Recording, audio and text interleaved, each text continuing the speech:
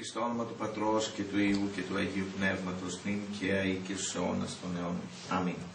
Βασιλεύ ουράνιε παράγεται το πνεύμα της αληθείας, ο πανταχού παρών και τα πάντα πληρών, ο θησαυρός των αγαθών και ζωής χορηγός.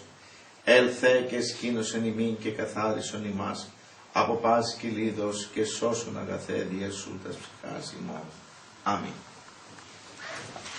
Καθίστε.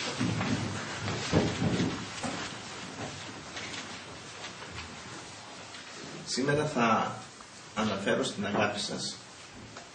Γύρω από την επίσκεψη που πραγματοποίησα μαζί με τους πατέρες στο Άγιον Όρος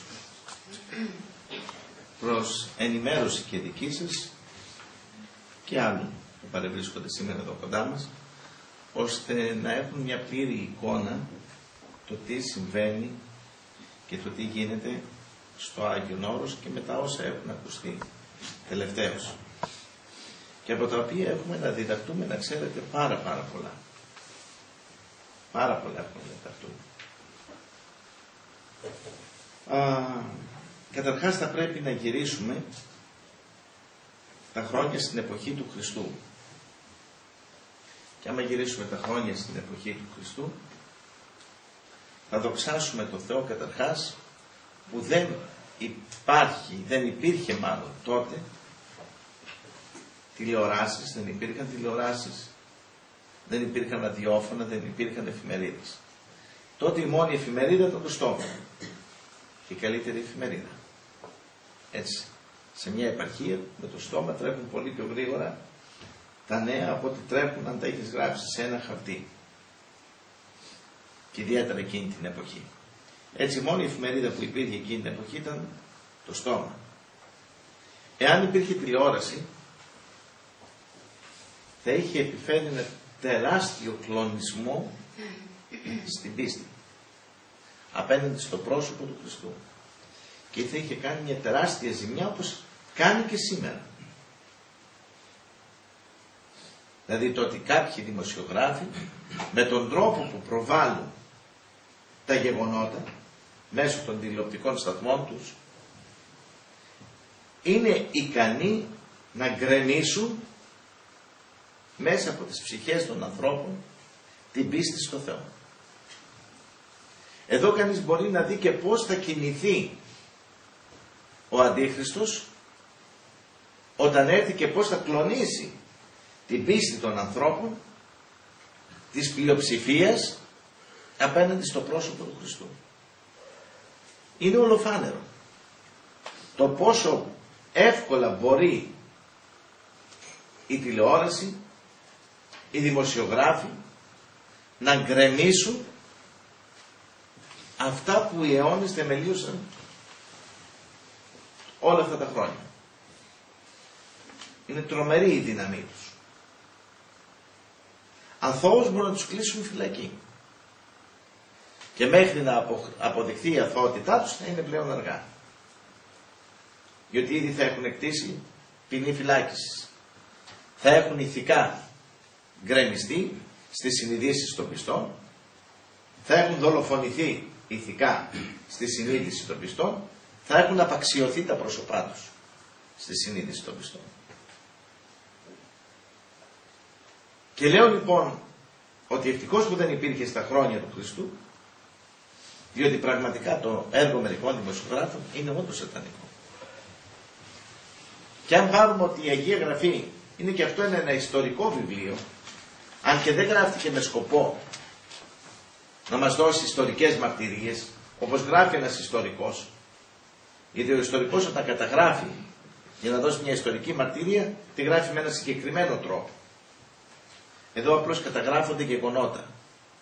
Αλλά τα γεγονότα μέσα στην Καινή Διαθήκη είναι τόσο χαρακτηριστικά όπως παρουσιάζονται και τόσο ζωντανά που αν τα μεταφέρουμε σε μία τηλεοπτική οθόνη με δημοσιογράφους από κάτω και με το κοινό το τι λέει περί του Χριστού το άρον άρον σταύρωσον αυτόν, αυτόν το να δείχνει τους κοντινούς, κοντινούς του μαθητάς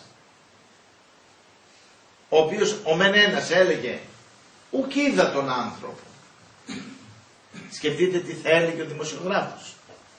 Και γάρι λαλιά σου δήλωνε επί η λαλιά σου μαρτυρίωτης από τη Γαλιλαία. Και εκείνος είναι Γαλιλαίος. Τι δουλειά έχεις κάτω εδώ, στα Ιεροσόλυμα; Ήσουν μαζί του. Σε είδαμε μαζί του. Ουκ είδα τον άνθρωπο. Δεν τον γνωρίζω τον άνθρωπο. Δεν έχω καμία επαφή μαζί του. Και θα έλεγε ο δημοσιογράφος, βλέπετε, μέχρι και οι μαθητέ του τον αρνούνται. Μέχρι και οι μαθητέ του αποστασιοποιούνται τώρα. Βλέπουν τις ενοχές του, βλέπουν ότι ο Χριστός είναι ένοχος, βλέπουν ότι συλλαμβάνεται και τρέχουν όπου φύγει φύγει για να μην συλληφθούν και αυτοί και κλειστούν στη φυλακή. Αναχωρούν, αποστασιοποιούνται, απομακρύνονται. Ήδη τον ακούτε τι λέει ο Πέτρος, ένας εκ των 12 μαθητών του. Και θα το έπαιζε και θα το ξανάπαιζε αυτό η τηλεόραση. Θα το έπαιζε και θα το ξανάπαιζε η τηλεόραση. Δείτε τον άλλον που τον πρόδωσε. Σπήρα 12 μαθητών. Ευτυχώς που ο ένας ομολόγησε. Πριν γίνει καμία λαϊκή επανάσταση. Θυμηθείτε ότι είχαμε πιο πριν το γαϊδουράκι που ο Χριστός εισήρθε ως βασιλεύς των βασιλέων στα Ιεροσόλυμα και φώναζαν όλοι ως ανάγκης υψίστης ευλογημένος ο ερχόμενος εν ονόματι Κυρίου πολιτικοί άρχοντες νόμισαν ότι έρχεται ο Σερπίγιος βασιλεύς και γι' αυτό του έγραψαν επάνω στην πινακίδα Ιησούς Ναζωραίος βασιλεύς των Ιουδαίων. Αυτή ήταν η κατηγορία της Σταυρώσεως. Κατά το ρωμαϊκό δίκαιο. Διότι οι Ρωμαίοι αποφασίζουν τη Σταύρωση. Οι Ιουδαίοι τη ζητάγαν, οι Ρωμαίοι όμως είχαν τον νόμο στα χέρια τους. Δεν μπορούσαν οι Εβραίοι να σταυρώσουν. Δεν μπορούσαν οι Εβραίοι να σκοτώσουν άνθρωπο. Διότι βρίσκονται υποκατοχή Ρωμαϊκών της Ρωμαϊκής Αυτοκρατορίας. Επομένως, ευτυχώς θα λέγανε οι τηλεοράσεις, ο δημοσιογράφος, που τη σφύρα την απεκάλυψε ο Ιούδας πριν ανατρέψουν τον Ηρώδη, πριν ανατρέψουν τον βασιλέα, πριν μετακυλιστεί η Ιερουσαλήμ και όλη η Ιουδαία. Σκεφτείτε τι θα λέγανε. Και πώς θα έπαιζε αυτό στις τηλεοπτικές οθόνες. Και σκεφτείτε ότι όταν μετά αναστήθηκε ο Χριστός, όταν συναντάγαν το Θωμά, που η Μαρία η Μαγδαλήνη θα έλεγε ότι αναστήθηκε και ο Πέτρος και ο Ιωάννης και οι πρώτοι μαθητές τι της λένε; Ότι είσαι φαντασιόπληκτη. Το γράφει το Ευαγγέλιο. Την αποκαλούν φαντασιόπληκτη. Και αυτοί και τις μεροφόρες τις υπόλοιπες. Θεωρούμε ότι οπτασία βλέπετε. Είδατε. Τι είναι αυτά που λένε; Και γι' αυτό απίστησαν κιόλας και γι' αυτό έταξαν στον τάφο να το επιβεβαιώσουν. Να δούνε τι είναι αυτά που λένε. Να δούνε τι είναι αυτά που λένε. Σκεφτείτε πως θα έπαιζε αυτό το ότι τις αποκαλούν φαντασιόπληκτες τις μυροφόρες. Οι ίδιοι μαθητές. Οι οποίες πρώτες είδαν και μαζί φυσικά μαζί με τις μυροφόρες υπόψη ότι παρευρίσκεται η Θεοτόκος. Δεν πήγαν οι υπόλοιπες χωρίς τη μάνα. Η μάνα τρέχει πρώτη. Η πρώτη και μεγάλη μυροφόρα είναι η Θεοτόκος. Η μάνα πήγε λίαν πρωί του Σαββάτου. Είναι αλήψος είναι αυτόν με μοίρα. Πρώτη πήγε η Παναγία. Λοιπόν, και η Παναγία είδε πρώτη τον ιόν της και η Μαρία η Μαγδαληνή και τα λοιπά και οι υπόλοιπες μυροφόρες. Παραλείπεται όμως και δεν καταγράφεται αυτό. Δεν τονίζεται μάλλον ότι είναι η Παναγία στο Ευαγγέλιο. Διότι θα είχαμε το γεγονός, ε, η μητέρα του τα λέει τι περιμένετε. Θα είχαμε άλλο γεγονός. Ότι η μάνα του τι θα έλεγε, η καημένη από τον πόνο της, κοιτάτε τι μας λέει τώρα. Ότι ανάστηθηκε ο ιό της. Αλλά ας ακούσουμε και το Θωμά. Και ο Θωμάς τι έλεγε; Μα είναι δυνατόν; Τι είναι αυτά που λέτε; Αναστήθηκε. Έχετε δει νεκρό να ανασθένεται. Και ο Θωμάς είχε δει νεκρούς να ανασθένονται. Ο Θωμάς είχε δει νεκρά αναστάσεις. Πάει η πίστη του όμως. Και τελειώσει το Θωμά. Είχαν πετύχει οι γραμματείς και οι φαρισαίοι και οι αρχιερείς αυτό που είχε μέσα του να του τον κρεμίσουν. Όπως οι αρχιερείς πείσαν ένα ολόκληρο λαό ότι ο Χριστός ήταν ένοχος και ότι δεν πρόκειται περί Αναστάσεως. Πείσανε το λαό ότι εκλάπει το σώμα οι αρχιερείς και το ιερατείο, αυτό το ψέμα δηλαδή που διέδωσαν οι Εβραίοι γιατί πλήρωσαν όπως λέει η Γραφή τους φύλακες του τάφου έγινε πιστευτό. Και γι' αυτό και ο Θωμάς το αποδέχεται ως φαίνεται. Και γι' αυτό δεν μιλάει για την Ανάσταση. Άρα έχουμε κλονισμό των εκλεκτών. Σκεφτείτε την εποχή του Αντιχρίστου τι έγινε γίνει. Που οι αρχιερείς και οι ιερείς θα παραδώσουν πάλι τον ίδιο τον λαό, αλλά αυτή τη φορά στον Αντίχριστο. Όπως παρέδωσαν τον Ιησού εις το Σταυροθήνε, θα τον παραδώσουν τώρα εις τον Αντίχριστο.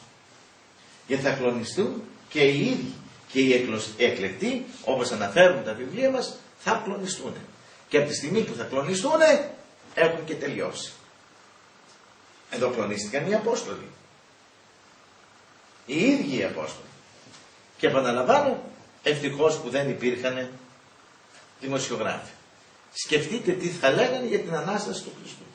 Ποια παραμύθια μας λένε; Οι φαντασιόπληκτες, οι γυναίκες. Σκεφτείτε τι θα λέγανε. Εδώ ο ίδιος ο μαθητής του. Ακούστε τον του λέει. Τι λέει. Θωμά, παρακαλούμε τι έχεις να πεις. Και ο Θωμάς θα έλεγε. Εγώ δεν τα πιστεύω αυτά τα πράγματα. Εάν δεν ακουμπήσω το χέρι μου πάνω στην πλευρά του, δεν πάω λέτε ό,τι θέλετε εσείς. Και να βάλω εδώ το χέρι μου, το κουμπίσω πάνω. Στον τύπο τον ήλιο να πιάσω το χέρι του. Τι αυτά που λέτε. Τα παραμύθια του καθενός θα πιστεύω. Μην βλέπετε που το φέρνει το Ευαγγέλιο και το λέει λίγο πιο εκλ, εκλεπτισμένα. Σκεφτείτε τι θα γινόταν σε μία τηλεοπτική εκπομπή αυτό το γεγονός. Όχι θα είχαν κλονίσει την πίστη των ανθρώπων. Όχι δεν θα είχε μείνει πιστός επί της γης. Αλλά ήδη θα διαλύεται το έργο του Χριστού άμεν τη γενέση. Φυσικά θα μπορούσε να ανατραπεί; Όχι. Όπως το σχέδιο του Θεού δεν ανατρέπεται με τίποτα. Όμως τη ζημιά που θα έκαναν τότε. Και γι' αυτό είπα στην αρχή τις ομιλίες μου ότι δοξάζω το Θεό που δεν υπήρχαν τότε τηλεοπτικά μέσα. Ήρθε όταν ήρθε ο Χριστός το πλήρωμα του χρόνου. Ήξερε ο Χριστός ποια συγκεκριμένη στιγμή έπρεπε να έρθει πάνω στη γη.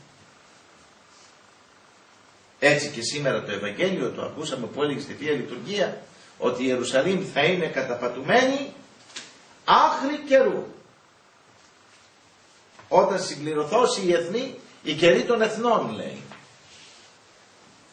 Μέχρι τότε η Ιερουσαλήμ θα είναι καταπατουμένη. Η αλήθεια είναι ότι η Ιερουσαλήμ πλέον δεν είναι καταπατουμένη. Ελευθερώθηκε. Είναι ξανά στα χέρια των Εβραίων. Και αυτό μιλάει ο Κύριος για τη Δευτέρα Παρουσία.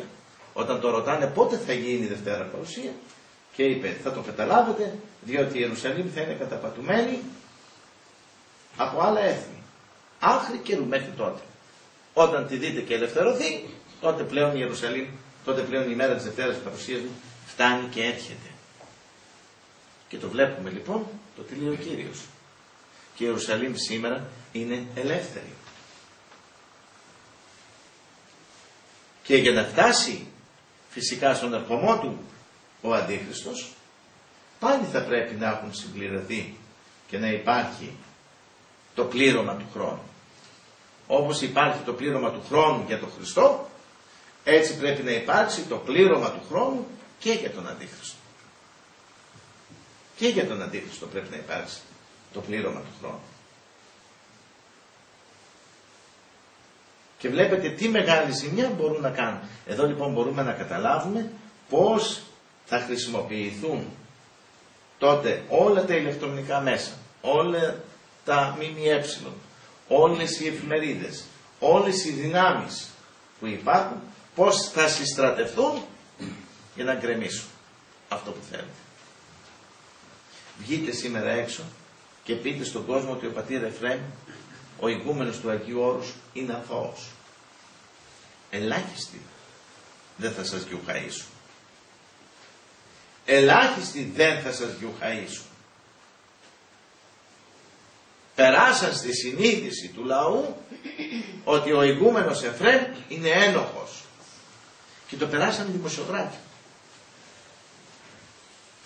Με ψεύτικα στοιχεία. Δημιουργήσαν ψεύτικα στοιχεία. Που μας τα πλάσαραν.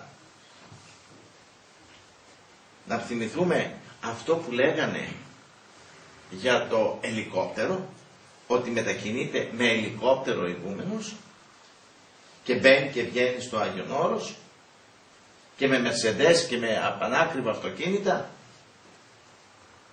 Θα σας πω εγώ τώρα λοιπόν που πήγαμε στο Άγιον Όρος τι μας είπαν εκεί οι άλλοι ηγούμενοι. Όχι μόνο ο γέροντας Εφραίμ και οι άλλοι ηγούμενοι τι μας είπαν.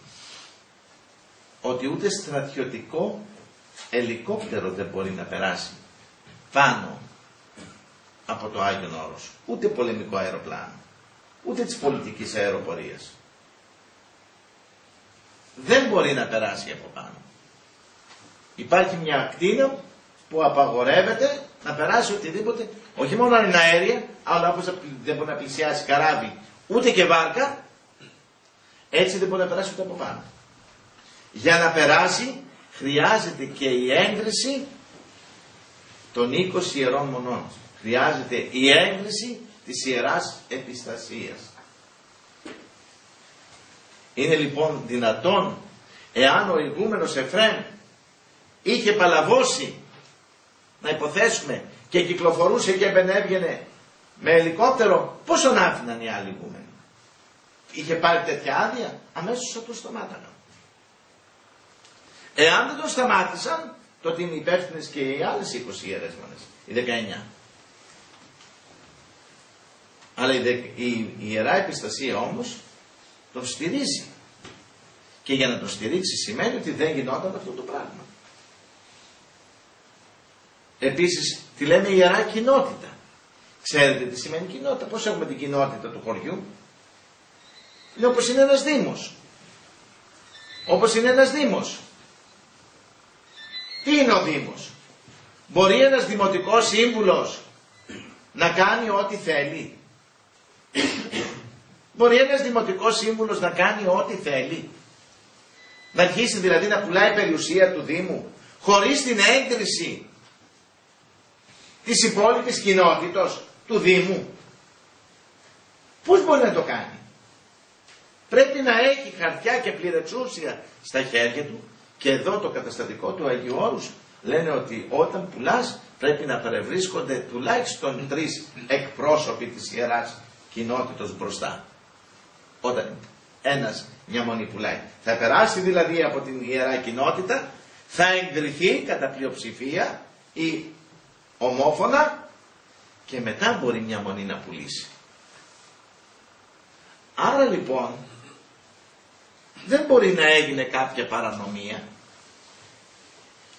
Οι άλλες ιερές μονές εγκρίναν και οι ηγούμενοι όταν ο ηγούμενος Εφραίμ λέγε, Παρευρισκόντουσαν μπροστά στα συμβόλια που γινόντουσαν. Δεν μπορούμε λοιπόν τώρα ξαφνικά να βγούμε επειδή τα ΜΜΕ μοβαρδίζουν και παρουσιάζουν ένοχο έναν άνθρωπο χωρίς να μας λένε όλη την αλήθεια. Γιατί αν υπήρξε παρανομία τότε πρέπει να βγουν και 20 μέσα φυλακή. Αλλά εδώ οι εισαγγελές δεν πειράζει κανέναν. Ούτε τον Εφραίμ. Ούτε τον γέροντα Εφραίμ. Γιατί δεν τον πειράζει. Σημαίνει δεν έχει βρεθεί κάποια παρανομία. Υπήρχε η έγκριση όλης της ιεράς κοινότητος. Που σημαίνει ότι δεν ήταν κάτι αθέμητο, κάτι ανήθικο, κάτι παράνομο. Κινήθηκαν στα κανονικά πλαίσια που επιτρέπει το Άγιον Όρος. Δεν βγήκαν έξω από αυτά τα όρια. Κινήθηκαν μέσα στα κανονικά πλαίσια και όρια. Επομένως, δεν συγκρίνετε αυτά που λέω εγώ τώρα για να δείτε τις αναλήθειες που λένε οι δημοσιογράφοι. Τις αναλήθειες που λένε οι δημοσιογράφοι. Τα ψέματα που λένε. Για να κάνει offshore εταιρεία μία μονή δεν μπορεί να το κάνει του Αγίου Όρους. Πάλι πρέπει να περάσει από την Ιερά Κοινότητα. Πάλι πρέπει να περάσει από την Ιερά Κοινότητα για να κάνει μια εταιρεία. Άρα ούτε εταιρείε υπάρχουν. Ούτε εταιρείε υπάρχουν. Και όμως τι πέρασε η τηλεόραση και κάποιοι εκ των δημοσιογράφων στη συνείδηση όλου του κόσμου; Ότι έχει offshore εταιρείες η Ιερά Μονή και κοινή παράνομο και μαύρο χρήμα. Αυτό δεν μπορεί να το κάνει ένας δημοτικός σύμβουλος να κινεί, να κατημουργήσει offshore εταιρεία του Δήμου δεν μπορεί να το κάνει και να κινεί χρήμα του Δήμου. Δηλαδή είναι εξωφρενικά τα όσα λέγονται και ακούγονται. Και δείτε όμως πόσο όμορφα τα έχουν παρουσιάσει, πόσο όμορφα, όμορφα τα έχουν ντύσει, πόσο όμορφα τα έχουν στολίσει, που βγείτε και μιλήστε έξω παρακαλώ και πείτε ότι ο γέροντας Εφραίμ είναι ανθώνος. Και έρχομαι σε ένα πάλι τελευταίο που είπανε ότι πήγαν οι μοναχοί λέει με τη βαλίτσα και πήρανε εκατομμύρια ευρώ και φύγανε προς άγνωστη κατεύθυνση. Αυτό το βεβαιώνει η τράπεζα. Γιατί ήταν υποχρεωμένη η τράπεζα να ξέρει προς τα που πάει ο μοναχός όταν παίρνει τα εκατομμύρια; Και βέβαια προς Το ότι η μονή είναι πλούσια, όπως και οι άλλες 19 ιερές μονές του Αγίου Όρους, γιατί είναι αυτοκρατορικές μονές. Και όταν τις έφτιαχνε ο αυτοκράτορας, οι αυτοκράτορες μάλλον, έδιναν στους μοναχούς τεράστιες περιουσίες. Γιατί μιλάγουμε ότι το βατοπέδι είχε 3-4 χιλιάδες μοναχούς τότε μέσα. Και για να ζήσουν και να επιβιώσουν τις 4.000 μοναχοί, σημαίνει ότι είναι ένα μεγάλη, μια μεγάλη πόλη 4.000. Πόσα έξοδα και εκατομμύρια θέλουν το μήνα για να συντηρηθούν 3 και 4 χιλιάδες μοναχοί; Και γι' αυτό τις μοναχοί, τους, τα μοναστήρια, όχι τους μοναχούς. Ο αυτοκράτορ πρίκιζε τη μονή με πολύ χρυσάβη και με πολλά ακίνητα. Και έδινε μάλιστα εκτάσεις γης. Έδινε εκτάσεις γης. Θυμηθείτε ότι στην Πάρο, στον Όσιο Χριστόδουλο, ποιος αυτοκράτορας, ο Αλέξιος ο, Αλέξιος, ο Κομνηνός, έδωσε όλο το νησί της Πάτμου, όλο το νησί της Πάτμου έδωσε στον Όσιο Χριστόδουλο, στον Ιούμενο. Δεν υπήρχαν τα σπίτια. Και άλλα τρία νησιά του έδωσε το οποίο είναι στην Κυριακή μέχρι και σήμερα της Ιεράς Μονής. Είναι και σήμερα. Στην Ιερά Μονή Μεγής της Λάβρας έχουν δώσει τρία νησιά πάλι. Και μεταξύ αυτών είναι το Ισκύρος, αν θυμάμαι καλά. Ολόκληρο το νησί πάλι. Ανήκει στη Μονή. Γιατί να μπορεί η Μονή όταν θέλει να πουλήσει κτήματα στους αγρότες για να έχει έσοδα. Να πουλήσει το οικόπεδο για να έχει έσοδα. Να ζουν οι τρεις, τέσσερις, πέντε χιλιάδες μοναχοί που ζουν μέσα. Γιατί ο μοναχός δεν πρέπει να βγαίνει σαν ζητιάνος στη λαϊκή αγορά όπως κάνουμε εμείς και στη ζητιανιά να πουλάει κομποσκίνια, να πουλάει λιβανάκι, να πουλάει εικονίτσες για να μπορεί να ζήσει και να χτίσει το μοναστήρι του και να το συντηρήσει. Ο μοναχός πρέπει να είναι αμέριμνος λένε οι Αγίοι μας. Χωρίς μέριμνες βιωτικές. Να μπορεί να ζει και να επιβιώνει μέσα στη μονή του. και να τον θρέψει η μονή. Μα πώς θα τον θρέψει; Πώς θα θρέψει το μοναστήρι 3 και 4 χιλιάδες μοναχούς; Εάν το ίδιο το μοναστήρι δεν έχει μια τεράστια περιουσία. Πώς θα συμβεί αυτό; Έτσι λοιπόν έδωσε και πολύ χρυσάφι.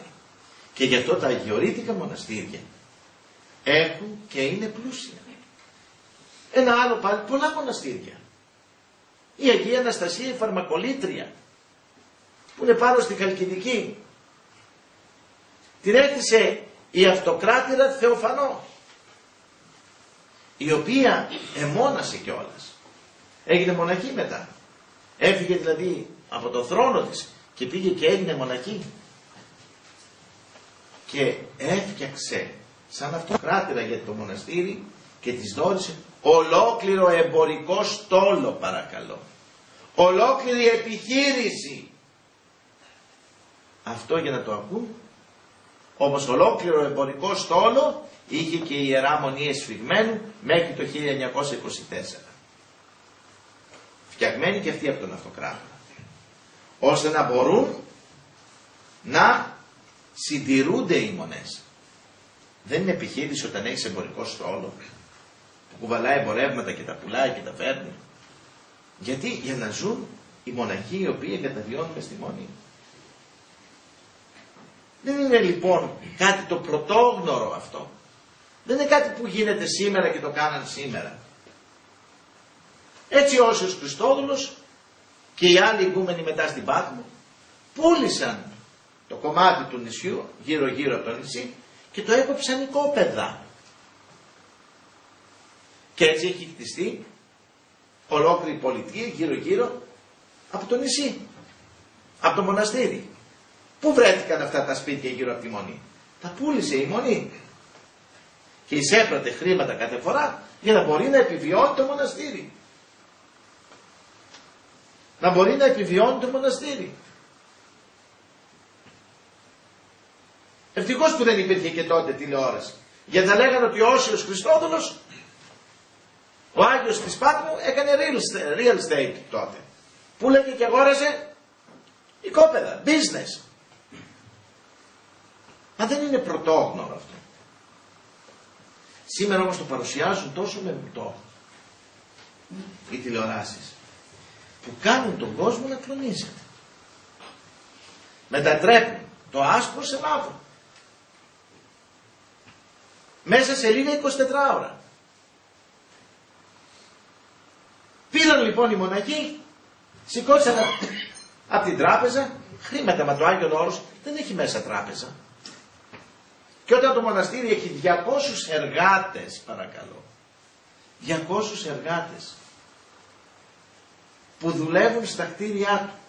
Έχει κτίρια, έχει κτίρια περίπου 75.000 τετραγωνικών μέτρων. Τι σημαίνει κτίριο 75.000 τετραγωνικών μέτρων; Αφού στα κτίρια του μέσα ζούσαν όπως σας είπα 3-4 χιλιάδες μοναχοί. Εάν απλώσουμε το μοναστήρι στην ευθεία 75.000, όχι τα στρέμματα της γης, το κτίριο 75.000, τα κτίρια 75.000 τετραγωνικά μέτρα. Που σημαίνει ότι αν το απλώσω σε μία ευθεία το μοναστήρι, έχω ένα μοναστήρι 75 χιλιόμετρων. Δηλαδή να ξεκινάει από την Αθήνα και να τελειώνει στην Κόρυφη. Και όσο πηγαίνω με το αυτοκίνητό μου, να βλέπω στα πλάγια μου τη μονή Βατοπεδίου. Τεράστιο μοναστήρι. Ιερά μεγίστη μονή του Βατοπεδίου. Όντως είναι μεγίστη. Πολύ μεγάλο μοναστήρι. Και με πολλούς μοναχούς μέχρι και σήμερα ακόμα. Λοιπόν, και αυτό το μοναστήρι για να συντηρηθεί, όποιος, όπως, όπως οποιοδήποτε μεγάλο κτίριο θέλει τεράστια χρηματικά ποσά, γι' αυτό ο αυτοκράτορος έδωσε και οικόπεδα και χρυσάφι και γη και τα πάντα.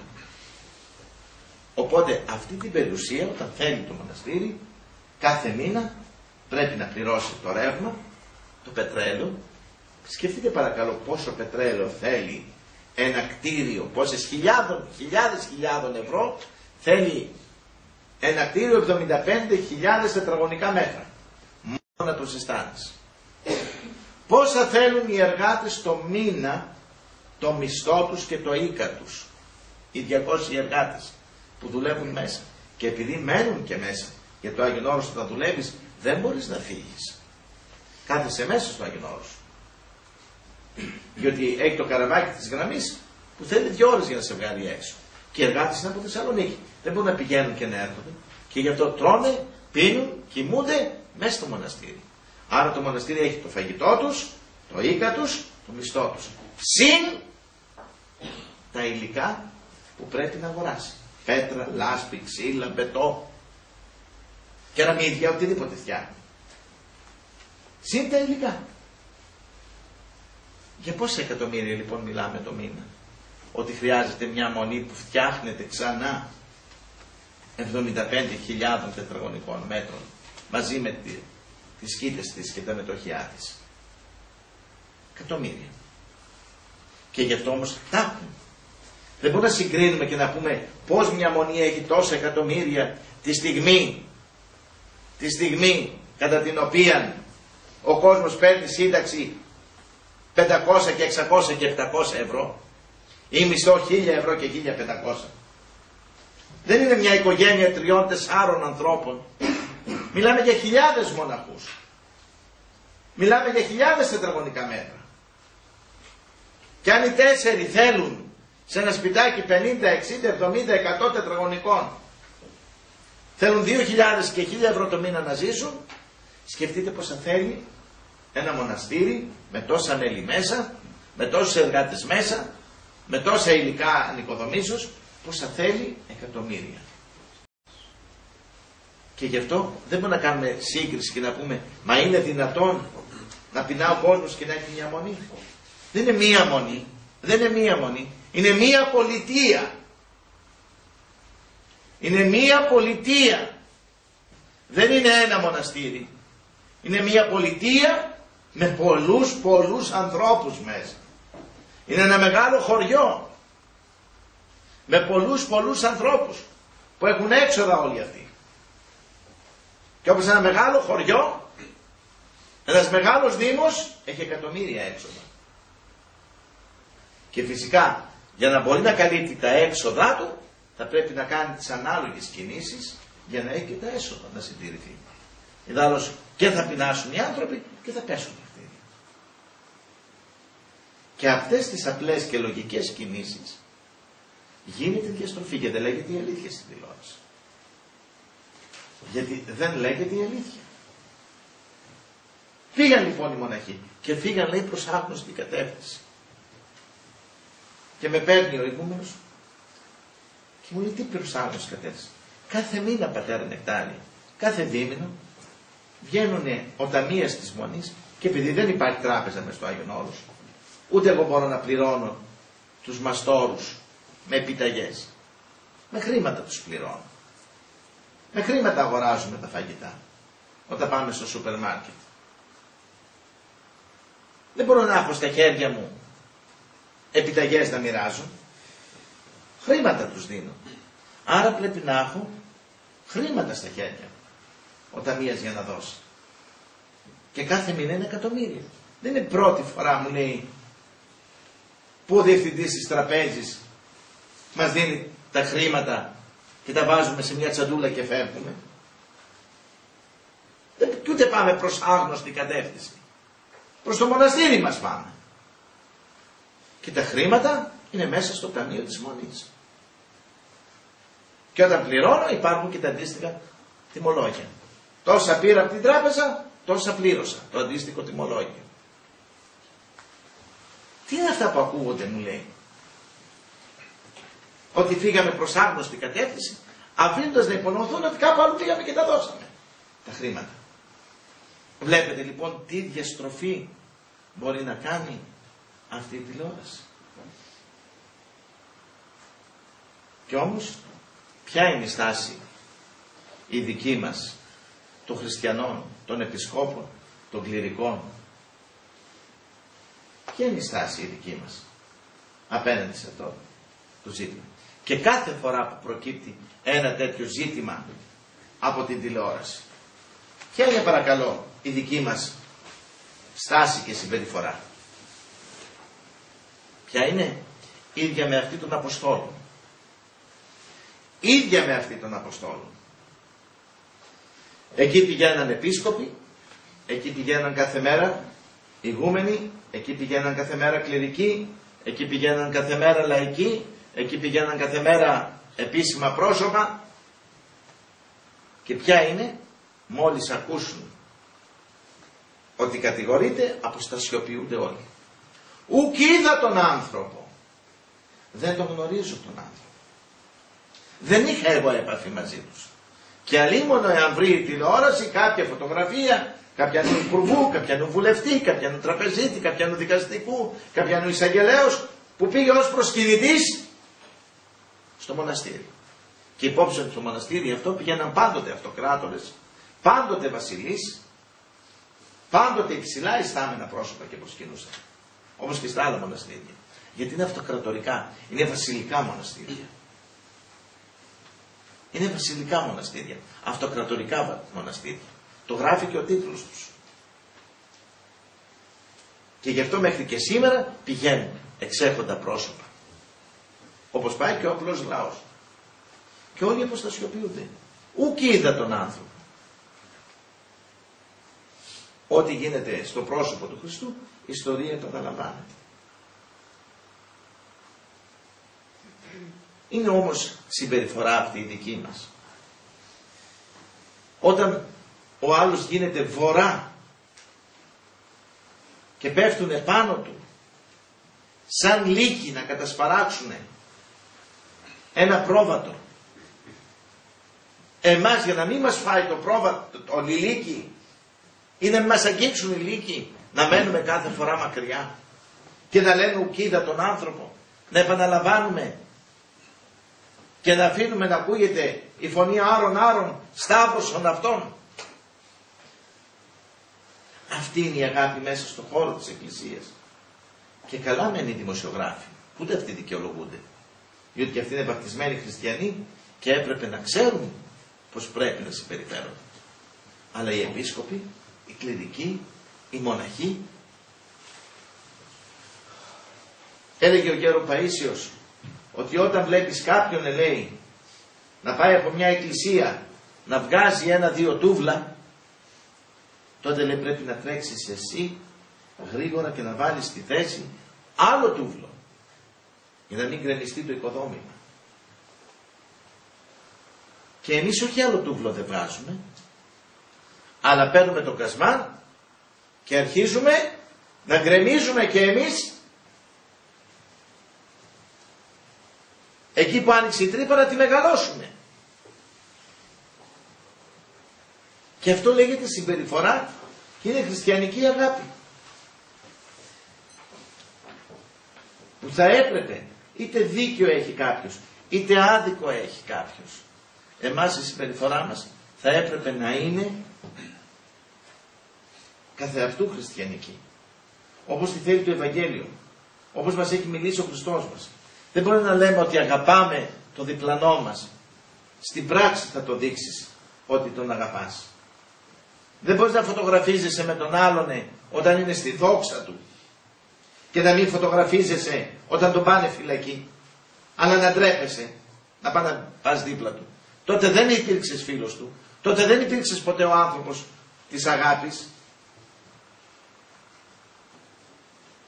Φυλακίσαν ένα Μητροπολίτη το Μητροπολίτη Αττικής. Εγώ δεν είχα ποτέ μου κάποια ιδιαίτερη σχέση με τον άνθρωπο. Και όμως είδατε τι σας είπα, πατέρες πρέπει να πάμε να τον δούμε. Δεν παίζει ρόλο. Τι έχει γίνει. Είναι άδικο, είναι δίκαιο, ναι ή όχι. Δεν είμαι εγώ κρίνον. Αλλά την ώρα που κάποιος άνθρωπος πέφτει, δριός πεσούσης, δεν πας, πας να ξυλεύεται Πάει και κόβει κομματάκια το δέντρο μόλις πέφτει. Αλλά πηγαίνεις να του πιάσεις το χέρι και να του πεις αδελφέ μου εδώ είμαι. Και μάλιστα όταν γίνονται βορρά τον ΜΜΕ που τότε όλοι αποστασιοποιούνται Και κανείς δεν τολμάει να σε πλησιάσει. Εγώ δεν θέλω εμείς έτσι, ούτε σαν μοναχοί, ούτε σαν κληρικοί, να κινούμεθα μέσα σε αυτό το πλαίσιο. Και γι' αυτό θα θυμόσαστε όταν είχε κινδυνεύσει εκείνη η Αφρικανή που την πιάσαν να πορνεύει. Δεν θυμάμαι σε ποιο κράτος ήταν. Στην Ιγυρία. Και την πηγαίναν για λιθοβολισμό. Θυμηθείτε ότι βγήκαμε από τηλεοράσεως και ξεσηκώσαμε τον κόσμο να πάμε στην Ιγυριανή πρεσβεία να προστατέψουμε τη γυναίκα. Ναι, την είχαν πιάσει να πορνεύει. Ναι, σύμφωνα με τον νόμο, το νόμο εκεί έπρεπε να λιθοβοληθεί. Αλλά αυτός ο άνθρωπος εκείνη την ώρα είχε ανάγκη έναν δίπλα του να τον στηρίξει. Και ας μην, το ξέρετε, μην την ξέραμε ποια ήταν. Και πήγαμε στην Ιγεριανή πρεσβεία και σώθηκε η γυναίκα. Τελικά δεν λιθοβολήθηκε. Μεσολάβησε η ελληνική πρεσβεία, μεσολαβήσανε και άλλοι. Έγινε θέμα στα τηλεοπτικά κανάλια. Και σώθηκε η γυναίκα. Θυμηθείτε τον Νίκο το Βαζδέκη. Πολλοί είχαν πέσει επάνω του στο νεαρό ότι αυτός είχε δολοφονήσει τον παππού και του είχε δαγκώσει το δάχτυλο και του το είχε κόψει για να του πάρει το δαχτυλίδι. Και όλοι λέγανε ήταν ένοχος και κανείς δεν πήγε να σταθεί δίπλα του. Και τότε πάλι εμείς βγήκαμε. Πάλι εμείς βγήκαμε που δεν το γνωρίζαμε πάλι και σταθήκαμε δίπλα του Και μάλιστα και τότε τόλμησα και είπα αυτό που διαισθάνθηκα. Αυτό που πληροφορήθηκα μέσα στην καρδιά μου. Ότι ο άνθρωπος αυτός είναι αθώος. Και παρακαλώ τους δικαστές να προσέξουν στη δίκη. Γιατί πρωτοδίκως είχε καταδικαστεί. Ότι ήταν ένοχος. Και όλα τα στοιχεία έδειχναν αυτόν ως ένοχος. Και μέσα σε ένα 24 ώρα τον είχαν κλείσει φυλακή. Τη δεύτερη φορά κράτησε η δίκη όμως εξαιτίας μας το ότι Βγήκαμε και τον υπερασπιστήκαμε, κράτησε τρεις μήνες η δίκη. Και εξετάσαμε κάθε λεπτομέρεια.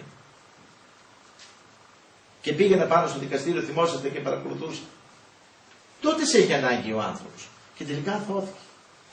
Αποδείχθηκε ότι δεν ήταν ένοχος. Αλλά και ένοχος δεν ήταν. Εκείνη την ώρα σε έχει ανάγκη. Όταν βουλιάζεις, όταν πνίγεσαι, τότε θες κάποιος να σου απλώσει το χέρι και να πεις υπάρχει ένας αδελφός δίπλα μου. Τότε τον έχεις ανάγκη. Όταν όλοι οι άλλοι σε βρίζουν, όταν όλοι οι άλλοι σε κατακρίνουν, ότι όταν όλοι οι άλλοι σε λιθοβολούν, δεν μπορεί εμείς να πάρουμε τις πέτρες και να λιθοβολούμε κι εμείς. Θυμηθείτε τι είχε γίνει με τον γέροντα Βυσαρίωνα και με το σκήνομά του. Θυμηθείτε τι είχε γίνει. που όλοι είχαν βγει και τι δεν λέγανε εναντίον του γέροντος Βυσαρίωνα και του σκηνώματός Και δεν έβγαινε ένας κληρικός να στηρίξει. Βγαίναν όλοι, ξαναθάψτε τον, βρωμάει, λιώνει, κάνει, διάχνει και το σκήνομα ευωδίασε.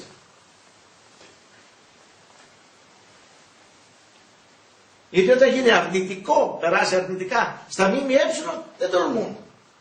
Μα δεν είναι χριστιανισμός αυτό όμως. Δεν είναι αγάπη αυτή.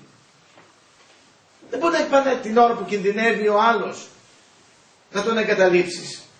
Στάσου δίπλα του, συμπαραστάσου του. Και αν δεις ότι έχει και δίκιο, να τον υπερασπιστείς τότε. Να τον υπερασπιστείς.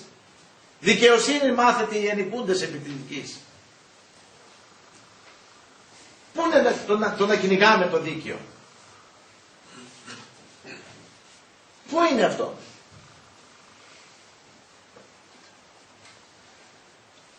Επίσης, θα σας θυμίσω για ένα κληρικό. Ένα γέροντας κληρικό, 85-90 χρονών. Που τον καταδίκασε ο εισαγγελέας και το δικαστήριο και τον έκλεισε φυλακή για παιδεραστία. Έναν παππού. Ο οποίος ήταν αδελφός του Αρχιεπισκόπου Κρήτης.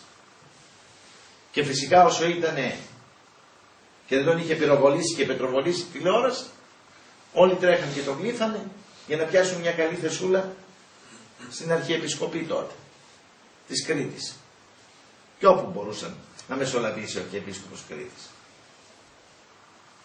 Και μόλις ακούστηκε ότι ο κληρικός αυτός 90 χρονών ήταν παιδεραστής, έτσι ακούστηκε, επαναλαμβάνω, δεν σημαίνει ότι και ήταν, το κλείσαν φυλακή, το καταδικάσαν, δεν πήγε κανένας από όλους αυτούς που είχε εξυπηρετήσει. Και τότε εγώ πάλι πήραμε εδώ πέρα και πήγαμε με δυο πατέρες στη φυλακή να τους συμπαρασταθούμε του ανθρώπου. Δεν παίζει ρόλο αν ήταν ένοχος ή αθώος. Αλλά όταν όλοι οι άλλοι από τηλεοράσου σε λιθοβολούν και σε εξευτελίζουν, τότε θέλεις έναν άνθρωπο δίπλα σου. Έναν άνθρωπο δίπλα σου θέλεις. Σκέπασε, βοήθησε τον αδελφό σου για να σε σκεπάσει και να σε βοηθήσει και σένα ο Θεός εν ημέρα κρίσεως. Δώσε συγκατάβαση, δώσε αγάπη, δώσε συγχωρητικότητα, σκόρπισε έλεος για να λάβεις έλεος εν ημέρα κρίσεως. Ιδάλλως, με ένα μέτρο κρίνεις, με αυτό και θα κρυθείς. Πού είναι λοιπόν αυτή η αγάπη δική μας; Πού είναι αυτή η αγάπη προς τους αδικουμένους, προς αυτούς που διώκονται, προς αυτούς που υβρίζονται, προς αυτούς που συκοφαντούνται. Με το να λέμε ουκίδα τον άνθρωπο. Πού είναι η αγάπη; Των κληρικών, των επισκόπων. Που εύκολα γίνονται και αυτοί θύματα. Και πιστεύουν το ότι λένε, του λένε δημοσιογράφοι, λένε και δεν ξέρουν.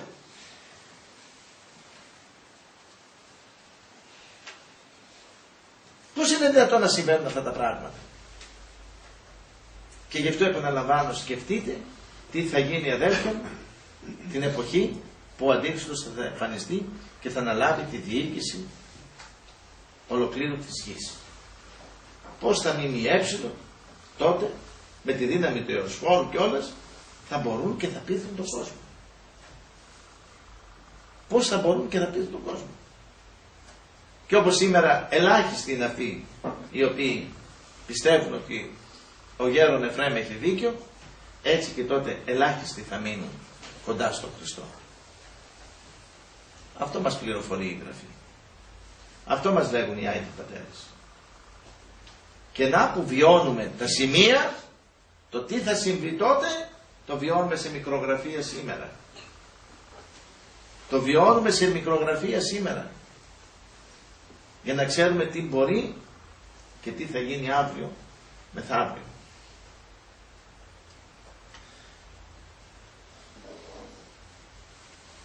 Ας δείχνουμε λοιπόν την αγάπη μας σε όσους κινδυνεύουν, σε όσους συκοφαντούνται, σε όσους πολεμούνται, σε όσους εγκαταλείπονται και μένουν μόνοι και τα τηλεοπτικά μέσα ή οι εφημερίδες ή οποιοδήποτε δημόσια τον χτυπά. Γιατί οπωσδήποτε γίνονται και αλλού αδικίες. Ή και αλλού άνθρωποι, είτε δίκαια επαναλαμβάνω, είτε άδικα, για μένα δεν έχει καμία σχέση. Όταν ο άλλος μένει μόνος, όπως και ο ένοχος, λένε οι δημοσιογράφοι, και ο ένοχος λέει, οφείλει η πολιτεία να του έχει δικηγόρο υπερασπίσεως. Είναι χρέος του δικηγόρου να πάει να τον υπερασπιστεί. Τον ένοχο. Εάν έχει χρέος και λέει η πολιτεία ότι έχει χρέος ο δικηγόρος να πάει να υπερασπιστεί έναν ένοχο, ε τότε έχω εγώ πολύ περισσότερο χρέος σαν κληρικός να σταθώ δίπλα σε έναν άνθρωπο την ώρα που κινδυνεύει. Αυτό επιτάσσει ο Χριστός, αυτό επιτάσσει η αγάπη, αυτό πρέπει να σημαίνει να έχουμε καρδιά ανθρώπινη. Διαφορετικά Είμαστε στο όνομα του χριστιανού. Είμαστε στο όνομα του χριστιανού. Γιατί φοβόμαστε μη φάμε εμείς τα βέλη όταν μπούμε μπροστά. Μα αυτό σημαίνει αγάπη. Τι είπαμε ότι σημαίνει αγάπη σε άλλα μαθήματα; Αγάπη σημαίνει το να δω τον λεπρό και να του πάρω εγώ το σώμα. Και να δει λέπρο επάνω μου. Αυτό σημαίνει αγάπη. Να μπω μπροστά και τα μπαίνει να τα φάω εγώ. Για να γλιτώσει ο αδελφός μου. Αλλά δυστυχώς αυτή την αγάπη σήμερα εξέλιπε. Και το είπε ο Χριστός. Όταν δείτε και εκλείψει η αγάπη πάνω από τη γη, τότε πλησιάζει η μέρα της Δευτέρας Παρουσίας μου. Γιατί; Διότι ο διάβολος είναι αυτός που ψυχραίνει τις καρδιές των ανθρώπων. Και όσο ψυχραίνονται οι ψυχές των ανθρώπων, σημαίνει ότι κυριαρχεί μέσα στις ψυχές ο διάβολος. Και έλεγε ο γέρον Παΐσιος, πόσοι άνθρωποι θα σφραγιστούν και θα υποκύψουν στον Αντίχριστο; Γιατί λέει θα έχουν υποκύψει πρώτα μέσα τους. Θα έχουν υποκύψει πρώτα μέσα τους. Και όταν ο άνθρωπος υποκύπτει στο δαίμονα και το προσκυνάει από τώρα με τα πάθη, τα μαθήματά του, τα ελαττωματά του, δεν θα μπορέσει λέει να αντισταθεί όταν έρθει. Έτσι λοιπόν εμείς θέλω αγαπητοί μου πατέρες και αδελφοί να δείχνουμε αγάπη σε όλους όσους κινδυνεύουν. Αυτή είναι η γραμμή του γεροντά σας, αυτή είναι η γραμμή της μονής μας, αυτή είναι η γραμμή πιστεύω που θέλει ο Χριστός μας. Αυτό κάνανε οι Αγίοι μας, αυτό κάνανε οι πατέρες μας. Έστω και αν κινδυνεύσουμε εμείς. Και να είστε βέβαιοι και σίγουροι ότι τίποτα δεν μπορεί να γίνει. Όπως εκεί όταν μίλησα με τον γέροντα Εφρέμ, μου έδωσε το μικρόφωνο στην τράπεζα της Μονής και μίλησα στους πατέρες μια μισή ώρα. Μια μισή ώρα μίλησα στους πατέρες μέσα στην τράπεζα ενώπιν του γέροντος Εφρέμ. Και εκείνο που τους είπα, εν περιλήψη σας λέγω, είναι τούτο ότι ο Σάκης πολλές φορές και εγώ κινδύνευσα. Δεν φοβήθηκα. Και ούτε και αυτοί να φοβούνται. Γιατί ή επιτρέπει ο Θεός ή το παραχωρεί κάτι που γίνεται. Και ότι επιτρέπει και το παραχωρεί ο Θεός είναι πάντοτε για το καλό μας. Ποτέ δεν είναι για το κακό μας. Μπορεί να μας χαλάσουν το όνομα. Μπορεί, μπορεί, μπορεί, μπορεί. Αυτά είναι ανθρώπινα όμως. Αλλά επέρχεται ψυχική σωτηρία. Επέρχεται ψυχική ωφέλεια. Και δεν μπορεί να γίνει τίποτα. Τους είπα εμένα πολλές φορές, τρεις φορές μου οδηγήσανε σε συνοδικές ανακρίσεις. Τρεις φορές. Φτάσαμε σε συνοδικά δικαστήρια. Και για σήμαντα πράγματα. Και ένα εξ αυτών ήταν τότε η μοναστηριακή περιουσία. Τότε με την υπόθεση Τρίτσι το 1987. Που εγώ δεν είχα τότε μοναστήρι, ούτε είχα και περιουσία, ούτε και έχω. Αλλά αυτό δεν έχει καμία σχέση. Όταν έβλεπα ότι αδικούνται άλλες μονές, και ούτε όλες οι μονές είναι πλούσιες. Υπάρχουν χίλια μοναστήρια. Ε, 50 μοναστήρια είναι πλούσια. Τα άλλα μοναστήρια φυτοζωούν. Ζουν όπως ζούμε και εμείς. Ζητιανεύοντας. Όπως υπάρχουν και 50 εφοπλιστέ μέσα στην Ελλάδα. Δεν σημαίνει ότι όλοι οι Έλληνες είναι εφοπλιστές. Έτσι είναι 50 μοναστήρια που αυτοκράτορες τα πρικίσανε, τους δώσαν χρήματα, τους δώσαν κτήματα, τους δώσαν περιουσία. Και έχουν. Ας έχουν και σδοξάζουν το Θεό. Δεν τα κλέψανε. Δεν αδικήσανε κανένα. Δεν αδικήσαν. Αλλά εδώ περισσεύει η υποκρισία μας. Γιατί όταν ακούς τον δημοσιογράφο, ο οποίος παίρνει το μήνα 40, 50 και 60 χιλιάδες ευρώ, ο δημοσιογράφος και μιλάει για τη σύνταξη της γιαγιάς των 300 ευρώ. Και λέει το κράτος δεν δίνει σύνταξη. Και δεν αυξάνει τη σύνταξη. Και μιλάνε για τη γενιά των 700 ευρώ. Ποιοι αυτοί που παίρνουν 60.000. Αν πού να τις βρει το κράτος να δώσει στη γενιά παραπάνω λεφτά. Αφού κύριε δημοσιογράφε τα παίρνεις εσύ. Να σου κόψει τις 60.000 και τις 30 και τις 40 και τις 50 που παίρνεις για να μπορέσεις να δώσεις στο λαό. Και βγαίνει ποιος, αυτός που παίρνει 40 και 50 και 60 χιλιάδες και μιλάει για αδικία. Ο εμεί γραμματή και φαρισαίοι υποκριτέ, θα τους έλεγε ο Χριστός. Περισσεύει η υποκρισία τους. Που γίνονται βαθύπλουτοι μέσα σε πέντε χρόνια αυτοί με τους μισθούς που παίρνουν. Και μιλάνε για την νέα γενιά και που παίρνει η νέα γενιά ελάχιστα χρήματα. Ε βέβαια. Εδώ ισχύει ότι ισχύει αδέρφια μου και για το φαγητό. Όταν εμείς τρώμε το πιάτο μας το φαγητό και περισσεύει, στα εστιατόρια, για πηγαίνετε να δείτε τι γίνεται. Στο στρατό, πηγαίνετε να δείτε τι γίνεται. Στις λαϊκές αγορές, πηγαίνετε να δείτε τι γίνεται. Να δείτε πόσο φαγητό πετιέται. Και τα σπίτια μας ακόμα. Γιατί πετιέται αυτό το φαγητό; Γιατί πετιέται; Γιατί περίσσεψε. Περίσσεψε λέει αυτό το φαγητό. Μα για να περισσέψει από μένα σημαίνει κάποιον άλλον ήταν. Ναι, γιατί ήταν του ανθρώπου που ζει στην Αφρική, του ανθρώπου που ζει στην Ασία και δεν έχει να φάει. Του το έχω πάρει εγώ το φαγητό του και του το τρώω. Και τρώω, χορταίνω, χοντρένω κιόλας και περισσεύει. Και αυτό το περίσσευμα είναι το δικό του, γιατί εγώ το έχω περίσσευμα. Ο μείος θα παίρνει αυτός 60.000 ευρώ δεν μπορεί να πάρει ο νέος εργάτης παραπάνω. Το κράτος δεν έχει να το δώσει. Και να σταματήσουν αυτή την υποκρισία. Το ίδιο λοιπόν κοροϊδεύουν και τώρα. Το ίδιο λοιπόν κοροϊδεύουν και τώρα. Και έλεγα λοιπόν στους βατοπεδινούς ότι δεν μπορούν να πάθουν τίποτα. Και δεν μπορούν να πάθουν τίποτα διότι ή το παραχωρεί ο Θεός ή το επιτρέπει ο Θεός. Και μόνον εάν ο Θεός υπογράψει τότε κάτι θα πάθουν. Ιδάλλως όλοι να πέσουν πάνω σου αν δεν έχει υπογράψει ο Θεός το να πεθάνεις ή το να μαρτυρήσεις δεν παθαίνεις τίποτα. Από τον 20ο όροφο να πηδάς αν εσένα ο Θεός δεν έχει υπογράψει ότι θα πεθάνεις δεν πεθαίνεις. Η ψυχής σου δεν παίρνει. Εσύ θα πέφτεις και θα χτυπάς και θα σηκώνεις όρθιος. Αυτό δεν είπε και ο Χριστός ενώπιον του Ποντίου Πιλάτου. Όταν ο Πόντιος Πιλάτος πήγε ο Πόντιος Πιλάτος και του είπε δεν ξέρεις ότι έχω εξουσία να σε καταδικάσω Ιησού ή να σε αφήσω ελεύθερο. Τι απάντησε; Τι απάντησε ο Χριστός; Μας. Καμία εξουσία δεν έχεις. Ούτε να με καταδικάσεις ούτε ελεύθερο να με αφήσεις. Αλλά θα κάνεις ό,τι σου επιτρέψει άνωθεν. Ό,τι θα σου έρθει από πάνω. Αυτό και μόνο θα μπορέσεις να κάνεις. Τίποτα άλλο δεν μπορεί να κάνεις.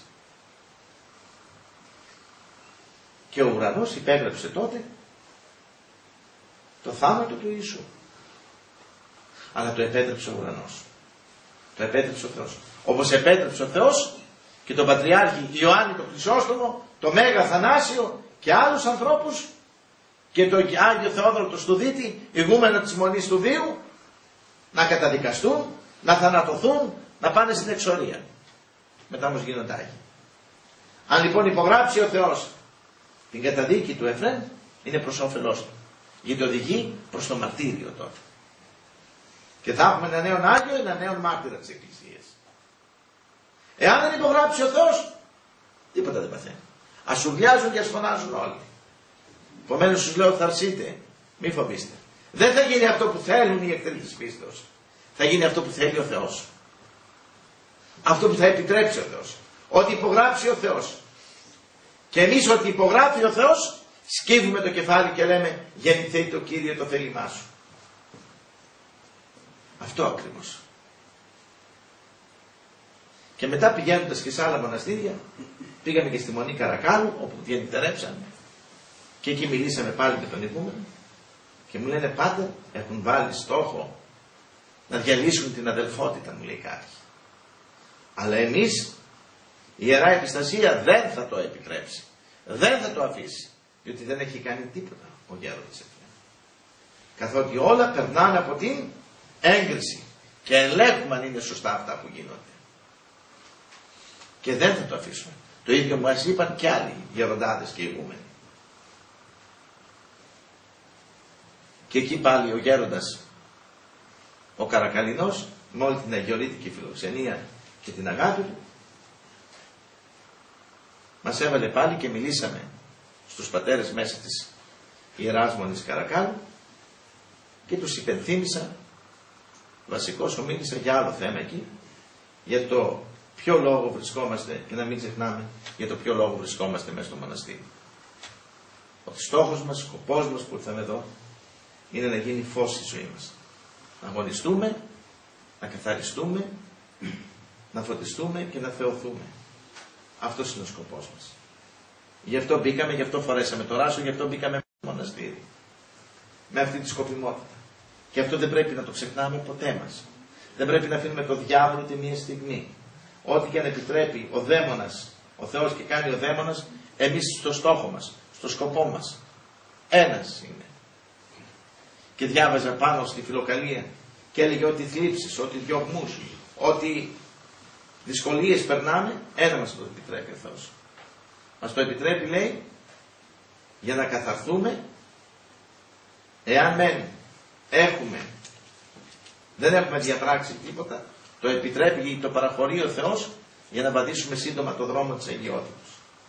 Εάν έχουμε διαπράξει κάτι για να ξεπλύνουμε τα μαρτήματά μας και πάλι με ψυχικό όφελος, ώστε πάλι να καθαρθούμε και να γίνουμε φως. Και στις δύο περιπτώσεις είναι προς όφελος της ψυχής μας. Και έτσι γυρίσαμε από το Άγιον Όρος και επιστρέψαμε δίνοντας το χέρι συμπαραστάσεως στα αδέλφια μας εκεί πάνω που αδίκως συκοφαντούνται, πολεμούνται και χτυπιούνται από ολόκληρη πλέον την κοινωνία. Ακόμα και από τους χριστιανούς. Και είναι κρίμα που χριστιανοί και κληρικοί σηκώνουν το λίθο του, ανα... του λίθου του αναθέματος, το λίθο του αναθέματος. Αν ήταν ο Χριστός μπροστά μας, θα φώναζε. Ο αναμάρτητος πρώτος στο λίθον βαλέτο. Και να δω ποιος θα τόλμαγε από όλους αυτούς να σηκώσει τότε ένα λίθο και να τον πετάξει.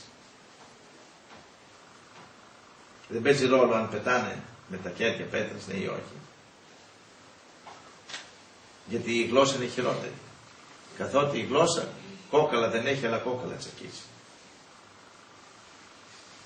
Πού είναι λοιπόν η αγάπη; Αυτή που μίλησε ο Χριστός. Εν τούτο γνώσονται οι εμείς μαθητές. Από εκεί θα καταλάβετε ποιοι είναι οι πραγματικοί, οι πραγματικοί μαθητές του Ιησού. Το δέντρο εκ των καρπών του θα το γνωρίσετε. Έχει καρπούς αγάπης. Εάν δεν έχει, είναι σάπιο. Δεν είναι δέντρο του Χριστού. Μπορεί να λέει ότι είναι. Μπορεί να λέει ότι εκπροσωπεί τον Χριστό. Δεν τον εκπροσωπεί τον Χριστό. Είναι αυτό που λέει ψευδαπόστολος. Είναι ψευδάδελφος. Γιατί ο πραγματικός μαθητής υπό Χριστός, ο δικός μου μαθητής, θα τον ξεχωρίσετε. Θα έχει αγάπη. Δεν έχει αγάπη μες στην καρδιά του άλλος. Σηκώνει πέτρες και πετάει. Δεν ανήκει στον Χριστό.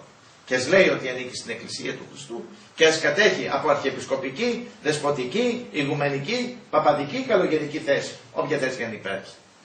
Ή ας είναι και απλός χριστιανός ή θεολόγος. Αγάπη μου και έχεις. Δεν είσαι μαθητής του Ιησού. Ας περικλείσουμε εμείς στην καρδιά μας αυτή την αγάπη. Εν τούτο γνώσονται εμείς μαθητές. Εάν αγάπη έχωση. Σε αυτόν λοιπόν τον Ιησού ας δώσουμε πάσα δόξα, τιμή και προσκύνηση εις τους αιώνας των αιώνων. Αμήν.